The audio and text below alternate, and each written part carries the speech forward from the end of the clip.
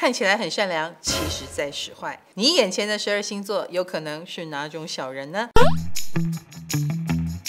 射手是真的有好形象哦，但这好形象也绝对是他平常有在宣传导致的。比如说加班一定会拍照上传，做善事一定会留下全名，中心思想又绝对正确，让人知道射手就是这么的认真、善良又得体。而且职场上射手还有一个强项，就是很愿意奉行老二哲学，呃，愿意什么都让贤，看起来与世无争，对吧？但这是射手的保护色。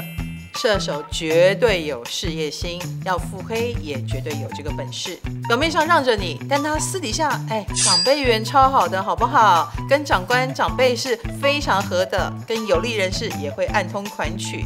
更不要说，他也许不是冲着你讲坏话，但他所引导的情势就有可能对你不利。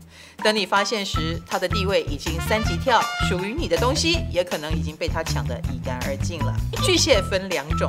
一种贴心，一种黑心。黑心型的巨蟹当然就是我们眼中的小人了，因为他没有安全感，对人性也不信任，有时候一点小事就可以记恨记很久，擅长把自己经营成受害者。我想在上一次十二星座这样就是讨厌你的影片里，已经有非常多网友的留言，让我们知道被巨蟹黑过的人有多少苦水要吐了。巨蟹的守护星是月亮，月亮可是永远有一面是暗面的哦，就看他要不要用而已。他们也很懂得拉拢次要敌人，对付主要敌人。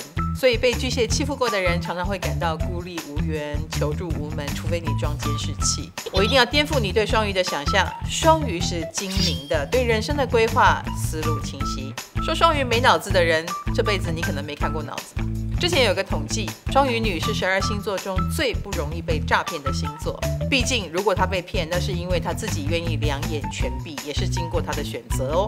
可是双鱼最怕的就是走歪掉，掉进了腹黑的深渊里。不过，腹黑的双鱼聪明一时，情绪化一世，有时候攻击的效果就会打折扣了。虽然手段不如巨蟹高明，但双鱼还有一个武器，就是装柔弱。也是会为自己赢得受害者头衔的一族。如果有一篇文章分析十二星座腹黑，母羊座的篇幅一定超级少，因为母羊的人生志愿是当大炮，而不是当小人。母羊座最大的武器呢，就是一张嘴，靠着这个嘴贬低他人。可是如果自己的地位还不够高，那他就只能骂在心里，因为他知道就算骂出去也没有用啊，还会害死自己，对吧？而年轻的母羊手中筹码有多少，它会衡量衡量，省点花。那没有筹码的母羊呢，也会在脑中陷害对方几万次，光靠幻想就能够得到满足，好悲情。所以母羊看起来就算炮火隆隆，其实腹黑的续航力真的很差。宫斗戏最早死掉的，并非之一就是母羊了。射手喜欢到处装天真年轻。天蝎却喜欢到处装狠角色，哎呀，会装狠角色就表示你不够真的狠啦！你要么就直接弄嘛，一直撂话算什么？而且狠话撂那么多，了解你的人根本不怕你，你只是让周边看戏的人以为你很厉害而已。你想吓跑别人，骨子里就是一种超胆小的表现，因为你很怕被别人发现你很脆弱，很容易受伤，对不对？好啦，人生就是这么为难，所以有些天蝎。不能装狠，又保护不了自己，只好演孤僻了，什么都一人作业，因为他们唯一的狠劲已经在一开始装高冷的时候都用完了。如果你得罪了金牛，千万不要让他有爬上去的机会，否则你一定会死得很难看。杀人如麻的希特勒也是金牛哦，听说他小时候被老师骂过，长大后。呃，常常拿出来说，他可没忘记自己被欺负过的历程哦。虽然金牛看起来很沉稳、静默，不愿意显露情绪，其实他手里可是真的有一个账本，记得清清楚楚、明明白白。只是金牛不会急于当下反应，他可以忍，等到他爬上位了，等到时机成熟了，他会用十倍的力气砸向你。所以千万不要有把柄落到金牛座手里，或让他掌权哦。当然，前提是你陷害过他。当一个天秤座拍拍你的肩膀说“没关系，没关系”啊，千万不要相信。天平表面什么都不计较，暗地里什么都记得住。但天平懒，非必要他不会出手，直到天平一直被踩线，一直被弄，那他就要想个办法认真对待你一下了啊！你就会把他的腹黑本领激发出来，而且天平真的很擅长偷偷来，他可以一边若无其事地向他人透露讨厌对象的不利消息，一边跟对方相约喝酒聊天谈合作。听出来了吗？天平绝对不会轻易表态哦。讨厌谁这张底牌亮出来，他就输了嘛，一定让你看不出来。所以很多人被天秤座弄了，还会跟天平说谢谢。水瓶座如果当小人，他一定会先拉帮结派，诶，因为毕竟人多势众，就比较好排挤对方。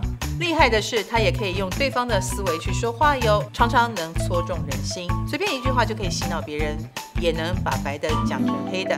而且既然他是一组帮派嘛。他不喜欢的人，自己人也不能喜欢。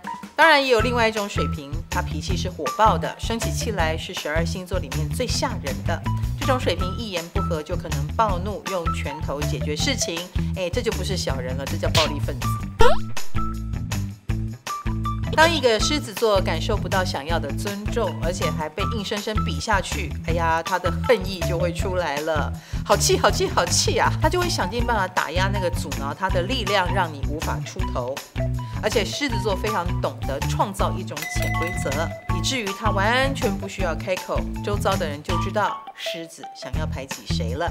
有听过狮子的朋友会很有默契的帮助狮子一起霸凌对方吗？某种程度啦，当你被狮子打压，你应该要高兴，因为那也许不代表你做错什么，只是代表你很有潜力。川剧变脸应该是双子座发明的吧？常常上一秒很开心，下一秒就暴怒，原本说说笑笑。突然间就翻脸，理由通常是这样：双子如果忽然觉得你太瞎了吧，这么瞎不能只有我看见，这么瞎不能只有我知道，全部的人都要知道，而且全部的人都要觉得你瞎。所以双子如果可以当面骂他，绝对不会客气。不能当面骂的啊，比如说是长辈、长官或上面的人，他会想尽办法把这个讯息告诉别人，假装是聊天啊，其实全都在讲你的坏话。嘴巴贱又很有渲染力的双子一说，别人能不应和吗？处 女星座是十二星座中真心难搞的，他们很喜欢放大别人的缺点，咄咄逼人，咬紧不放。